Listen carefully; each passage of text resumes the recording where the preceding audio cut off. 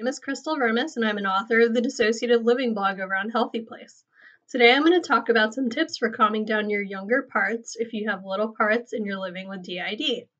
So I like to treat my younger parts as kids. A lot of my younger parts haven't happen actually to be between the ages of anywhere from 3 to 16, meaning that when they need comfort, they need something that reminds them of just being a kid.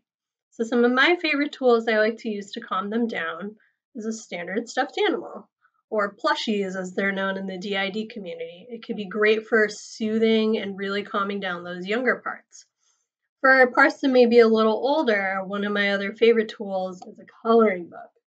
So there are a lot of adult coloring books out there. The adult coloring book trend really took the world by storm.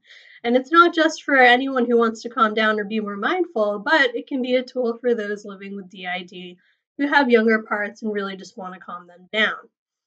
If you are on a budget and you really are just looking for something that you can grab and just use instantly to calm down your younger parts, you might want to invest in a fidget cube. These little things are about $10. You can get them now at big box stores. You can get them online. And as you'll see, they come with a bunch of different working parts. So there are buttons, there's a joystick, uh, there's uh, fidgeting, a lot of things you can use to fidget.